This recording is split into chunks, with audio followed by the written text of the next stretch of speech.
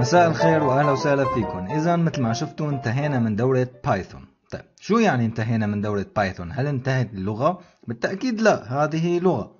نحن اللي انتهينا منه هو الأساسيات بناء اللغة. الأساس الأساسي من الموضوع. يعني خلينا نعتبر وكأنه نحن تعلمنا حاليا ال Windows وبدنا نبني هلأ برامج على ال Windows. رح تشوفوا بدورات لاحقة كيف رح نشتغل على ال frameworks اللي هي بتعتمد على Python رح نبدأ بال Flask بعدين Django Django ما كتير مهمة بالنسبة لي ال Flask أهم لحتى نقدر نشتغل عليها. ولكن الفكرة ماذا بعد؟ إذا نحن عم نشتغل Python تعلمنا Python وتعلمنا فلاكس Flask. ماذا بعد؟ حاليا نحن بالعام 2019 إذا بتتذكروا عملت قائمة للعام 2018 هل القائمة لا زالت صالحة؟ شو بدي أتعلم؟ لذلك هذا الفيديو رح يكون مهم رح يكون جدا مباشر الفيديو القديم كنت عم أحكي عن آه، شيء عالمي عن شغلات عالمية متفق عليها في العالم ولكن حاليا بدي أدخل أكثر بالسوق العربي لحتى تفهموا تماما شو بدكم تعملوا بالعام 2019 تحديدا بموضوع الويب. طيب اولا بدي نحكي بفرعين رئيسيين للكلام اللي بدي أقوله. الفرع الأول أنت تريد أن تحصل على المال. الفرع الثاني أنت تريد أن تتعلم بشكل أكاديمي. جدا فرق كتير كبير بيناتهم. الأول أنت رح تنزل للسوق رح تنزل للمهنة. وتبدأ بجلب الزبائن بطرقك الشخصية بالتسويق. أنا عملت أكثر من فيديو عن التسويق بغض النظر عن التسويق ولكن لو فرضا أنت صار عندك زبون حاليا كيف تشتغل الزبون؟ القسم الثاني اللي هو القسم الأكاديمي. لو أنا بدي أتعلم البرمجة بدي أتعلم الويب شو بعمل؟ طيب شو الفرق بيناتهم بالبداية؟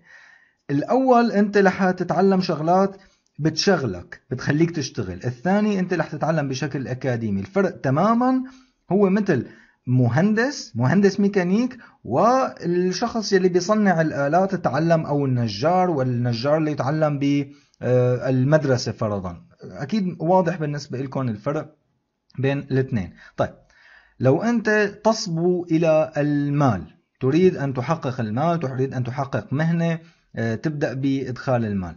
مباشرة حاليا بعد هذا الدرس بتتجه لتتعلم ما يسمى بال CMS Content Management System. أي CMS ما في مشكلة ولكن آه، تتعلم CMS يلي هن. WordPress بالتأكيد بشكل أساسي لأنه أكثر من 52% من مواقع الإنترنت على شبكة الإنترنت هي تدار بواسطة WordPress.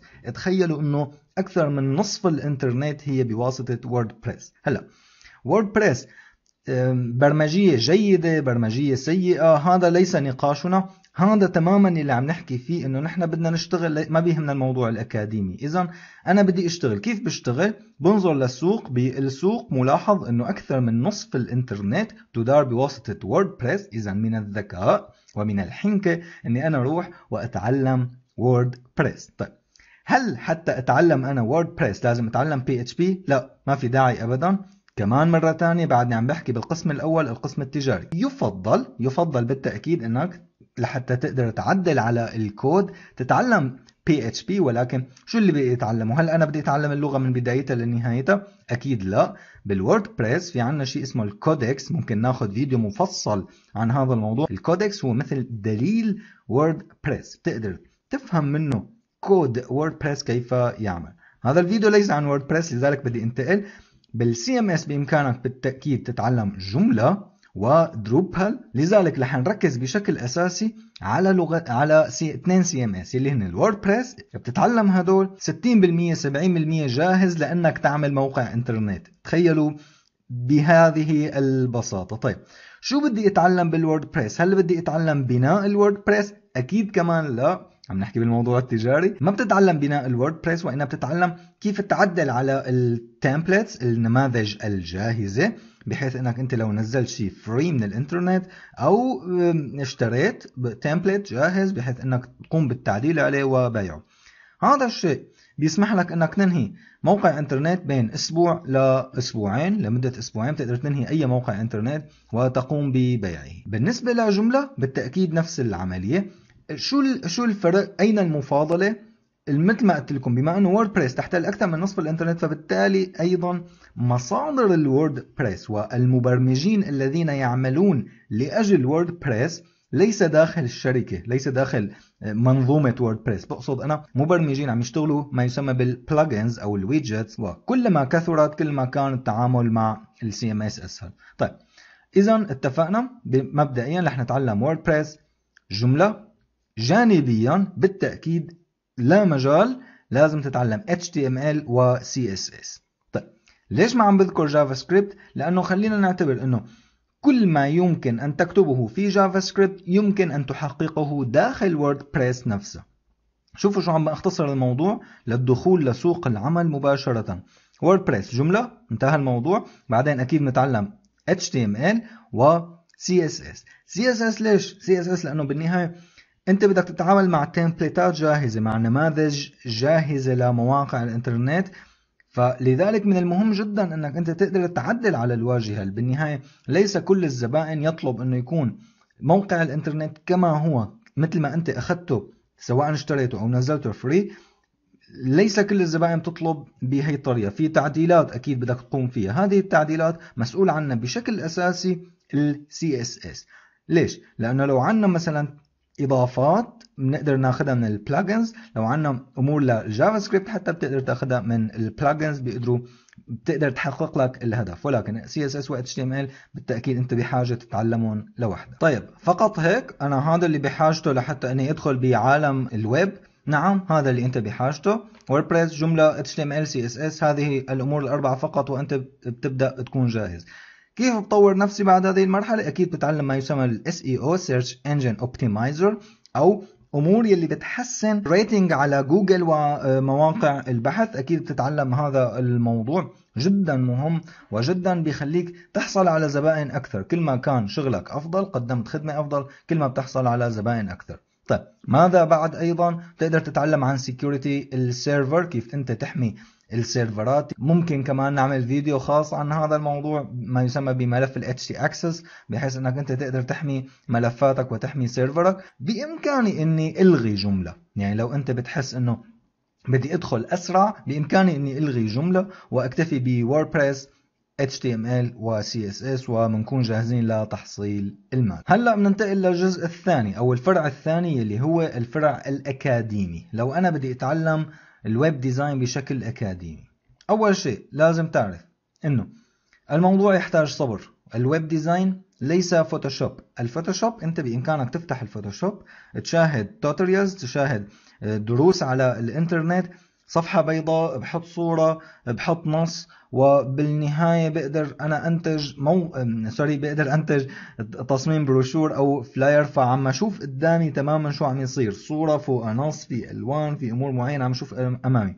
ولكن ال web design أمر مختلف تماما شيء مختلف تماما. لحتى تفهموا الاختلاف مثل يلي عم يشتغل محرك السيارة والذي يعمل على هيكل السيارة. هيكل السيارة واضح ولكن أنت داخل السيارة ما بتعرف شو عم يصير.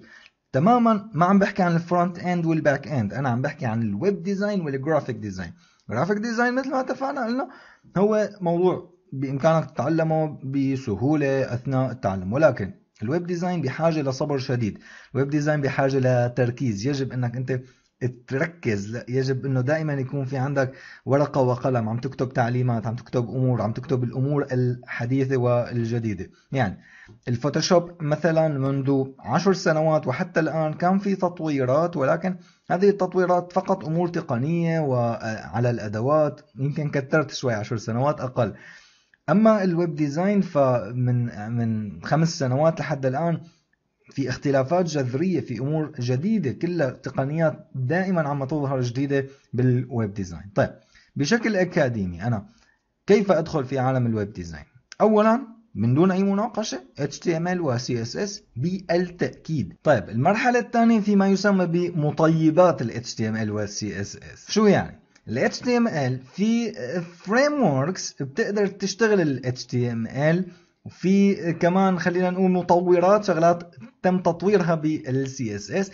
بتقدر تعمل اللغة شوي ديناميكية أكثر HTML و CSS مهم جدا تعرفوا إنه هي ليست لغات برمجة. وإنما لغات توصيف. شو يعني هذا الكلام؟ يعني أنا كأني شخص آه، دخلت وعم أقول إنه السيارة يجب أن تكون فيها آه، هيكل ومحرك وعلبة السرعة علبة الإغلاق وهذه الأمور. ال CSS مهمتها أنه توضع الهيكل بالخارج المحرك في الأمام آه، علبة السرعة في الأسفل لاحظوا هذه الأمور. ولكن في ما يسمى بالمطيبات بحيث أنه أنا لو بدي أشتغل عشر سيارات تمام؟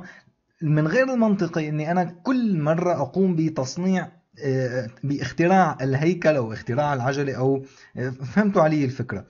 لذلك في ما يسمى ب frameworks تشتغل ال HTML بحيث إنه فرضا أنا لو عندي آه، فوق بالأعلى فرضا عندي قائمة. هذه القائمة من غير المنطق إني أنا اكررها بجميع الصفحات جميع صفحات الويب كرر القائمة مرة جديدة. أنا بوضع template بوضع في القائمة بوضع في ال footer بالأسفل وبالمنتصف بيكون ما يسمى بال block. هذا ال block بيحتوي على ما يتغير في الصفحات الداخلية. طيب بال HTML عندنا ما يسمى إي دي إي بكتب لكم إياها. عندنا ال Flask اللي رح نشوفه عندنا ال Django. كلها هي أمور frameworks أنت بتقدر تشتغل عليها. نصيحتي أنا شخصيا ما تضيع ما تضوع وقتك في أمور كثيرة تعلم فقط Flask. Flask هي framework من Python تم آه، استقائها من Python عدة classات انعملت من Python بحيث إنك أنت تقدر تكتب HTML ب خلينا نقول ب template تعمل template لل HTML بالنسبة لل CSS عنا ال Sass وعنا ال Less شو الفرق بين ال Sass وال Less الاثنين ما يسمى ب CSS processor يعني معالجات ال CSS هن CSS نفسها نفس اللغة ولكن تم دمج الموضوع. يعني بكل بساطة بقدر لكم إياهم لو أنت عم تشتغل موقع إنترنت في لون أزرق فرضا. هذا اللون الأزرق له آه، كود محدد. من غير المنطقي إنك أنت دائما بصفحات ال CSS توضع آه، لون القائمة أزرق لون الزر أزرق لون ال link أزرق. وعند التغيير لما تيجي بدك تغير بدك تعدل مثلا بدنا نعمل اللون أحمر كاملا لما أجي بدي أغير إني أجي أعدل أنا جميع آه، الكودات. لذلك ال Less وال Sass بتسمح لنا إنه نحن نعمل ما يسمى بال function function اسمه color وبنقدر نعمل هذا ال color بالأسفل. طيب ممكن برجع بقول لكم نحكي بفيديو مفصل عن هاتين اللغتين. هل بدي أتعلم Sass أو Less؟ بالتأكيد Sass. ولكن Sass هي مرحلة متقدمة شوي عن Less. التنتين سهلين. التنتين سهلين جدا. هن مجرد تطوير لل CSS مو أكثر من هيك. ولكن ال Less عم تجمع آه، كودات ال CSS خلينا نقول ال Sass عم تعطينا التفاعلية أو خلينا نقول ديناميكية. تمام. خلينا عم تعطينا الديناميكية أكثر للسي اس اس اذا اتش تي ام ال سي اس اس بعدين بناخذ المكتبات ال frameworks تبعهم اللي هن Flask رح ندرس ال Flask رح ندرس ال Sass بالتأكيد هي عنا نحن أربع لغات. لاحظوا عم بتدرج من الأسهل للأعلى تمام؟ هلأ بدنا ندخل بالبرمجة. بالنهاية هذه كل الأمور اللي حكيتها هي لغات توصيفية ما بتعطي أي نوع من الديناميكية للموقع. بدنا ندخل بالبرمجة.